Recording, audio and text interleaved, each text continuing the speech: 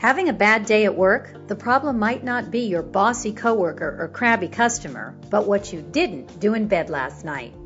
A new series of studies says that a lack of sleep can affect your business. Ann Garrity, founder of OrganicDivas.com, an online retailer of non toxic lotion, soaps, and cosmetics, tells us how her sleepless nights are resulting in unproductive days. Well, I think as a small business owner, you have to wear a lot of hats and you have a lot of different roles. And when you're running on empty and lack of sleep and exhausted, you're doing everything at you know half mast. What kind of sleep problems are you having? Waking up in the middle of the night and not being able to go back to sleep. What's keeping you up at night?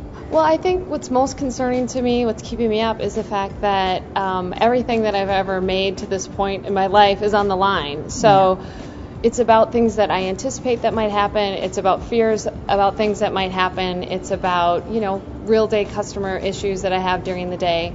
It's all those things. It's, you know, a thousand thoughts a minute. Garrity says that because of those thousand thoughts a minute, she sleeps only four to five hours a night. Do you find that your thinking gets cloudy when you haven't had enough sleep? Oh, yeah. It's very hard to concentrate and to focus and to keep, uh, you know, your thoughts collected. Garrity's lack of sleep has gotten so bad that she recently was scheduled to give a presentation to 100 people and forgot her notes and materials at home and had to wing it. She says she sometimes snaps at vendors who miss a shipment date and loses her temper faster than normal when she's exhausted. Her biggest concern? That if things keep going on this way, she's going to totally burn out.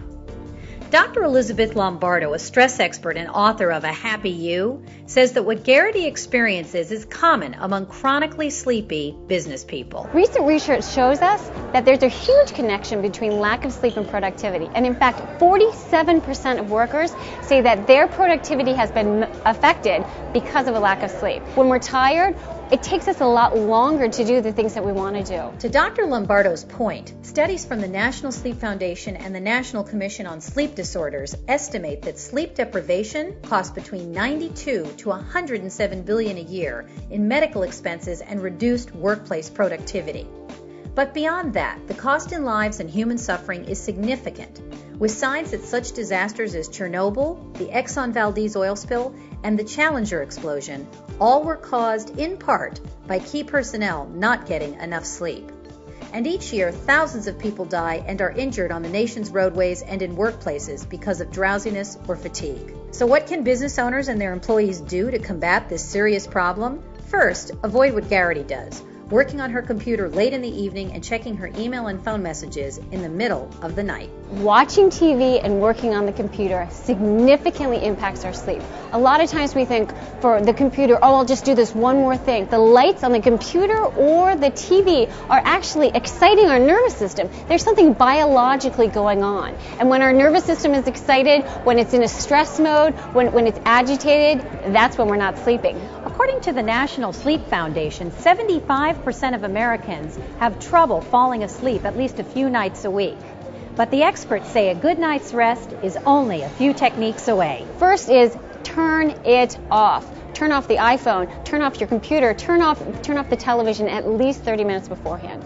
Second, watch what you eat. And I'm not talking about right before bed. I'm talking about in the afternoon and evening too. So stay away from the caffeine. Alcohol, it's not going to help you. It helps you fall asleep, but it won't help you stay asleep. The third thing is develop a wind down routine. Whatever it is, develop a ritual that cues your mind and your body that it's time to go to sleep. Another thing is make sure that your room and your environment is conducive to sleeping. Make sure it's dark and quiet and comfortable. For many, these techniques will be enough to solve the problem. Those, however, who need additional help should visit the National Sleep Foundation's website. So the next time you feel a sleepless night coming on, turn off the TV, turn on the soft music, turn down the lights, and sleep. The stuff that dreams and good business are made of. Música